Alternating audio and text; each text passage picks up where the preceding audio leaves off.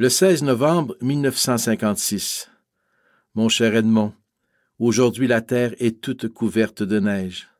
C'est donc que cette année encore, nous aurons un hiver. À mesure qu'on vieillit, cette saison perd de son charme. Sur la terre, il n'y a rien qui ne soit mêlé de plus ou moins de souffrance. C'est la loi. Pourtant, on s'attache tellement à cette vallée de larmes. Hier, j'ai essayé d'aider quelqu'un. Pas moyen. Je n'en ai pas dormi. Les nouvelles d'Europe sont mauvaises. Les gens souffrent, meurent de façon violente. Il y a partout rumeur de guerre. Le pape fait des appels au monde. Sa voix résonne comme dans le désert. Vraiment, la terre a été abandonnée à elle-même.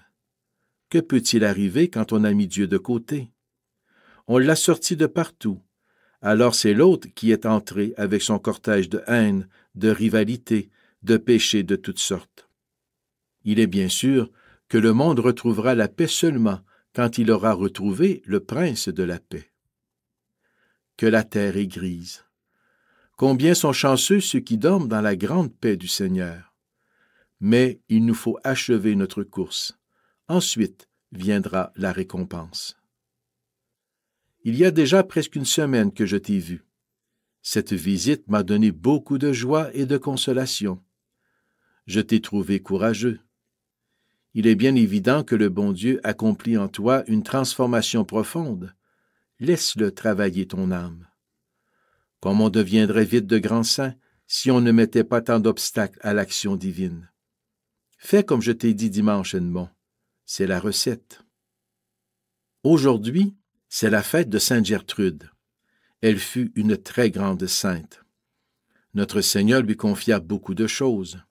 Il se plaisait à la visiter et il disait qu'il n'y avait aucune âme sur la terre qui lui donnât plus de bonheur et il en donnait la raison, Sainte Gertrude avait abandonné sa volonté entièrement à son maître.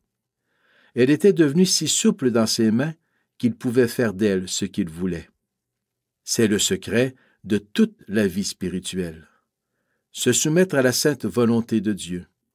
Ce n'est pas chose facile, il va sans dire, mais il faut y travailler. J'ai reçu une belle petite lettre de tes parents. Je leur ai répondu aussitôt. Je prie beaucoup pour eux.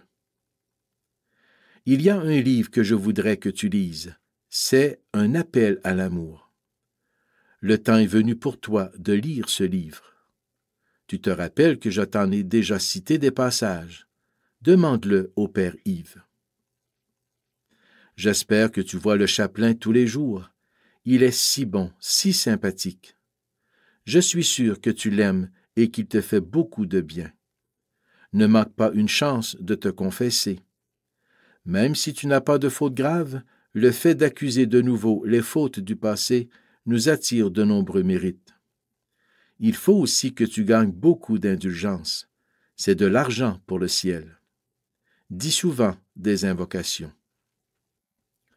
Mon cher Edmond, c'est bien dommage que tu sois si loin mais je sais que tu es bien suivi par le Père Yves. Donne-moi des nouvelles. Prie pour moi. Bon courage, mon cher Edmond. Ton padré, Philippe Roy, prêtre.